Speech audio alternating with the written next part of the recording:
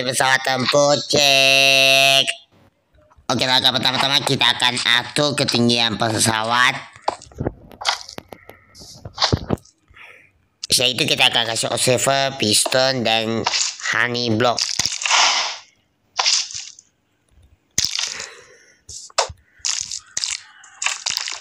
Pistonnya sana aja nah kayak gini dah. Dan ini juga guys. Ini kita akan ini lalu ke depan. Lalu yang ke belakang yang jauh dulu ya ke depan kita akan kasih observer dan sticky piston. Oh yang ini.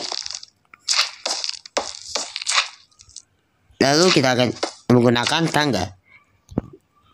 Dan terakhir mungkin mungkin kita akan kasih sayap.